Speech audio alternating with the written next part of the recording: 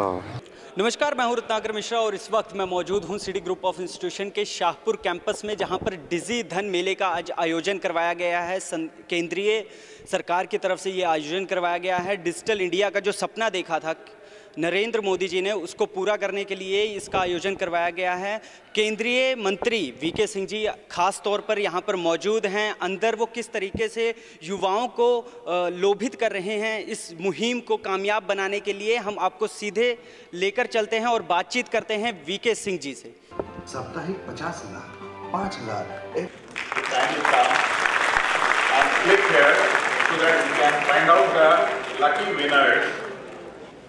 You all have heard already as to what uh, the function was all about. Aim is to promote digital payments. आप लोगों को पता है कि mostly हम सब लोग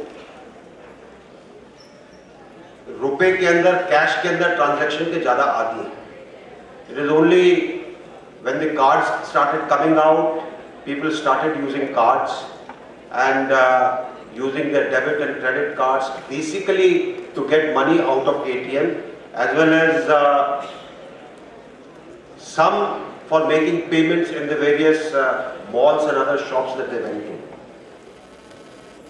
Sir आप सिटी ग्रुप ऑफ़ इंस्टीट्यूशन में आए हैं सर स्टूडेंट के लिए सर किस तरह का मैसेज आप किस तरह का मैसेज देना चाहिए देखिए आपकी इंस्टीट्यूट बहुत अच्छी है बहुत बढ़िया कैंपस है सब तरीके से जैसे कि मैं देख रहा हूँ कि एम्यूनिटीज़ फैसिलिटीज़ एजुकेशन के लिए प्लेसमेंट के लिए है।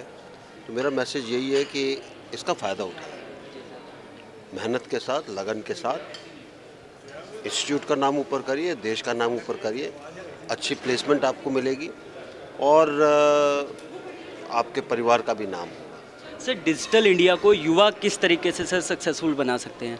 देखिए युवा तो वैसे ही डिजिटल के अंदर ज़्यादा है। आज की तारीख में मेरे ख्याल से दो साल का बच्चा जिस तरीके से मोबाइल ऑपरेट कर सकता है, मेरे जैसे लोग नहीं कर सकते। तो digitally their orientation is that way what is needed is कि आप बाकियों को क्या सिखाते हो? क्योंकि जितना डिजिटाइजेशन होगा, उतना ट्रांसपेरेंसी आएगी। जितना डिजिटाइजेशन होगा, उतना ईज़ ऑफ़ वर्किंग आएगी। और साथ साथ कैसे आप उसके अंदर सिक्योरिटी रखोगे वो ज़्यादा ज़रूरी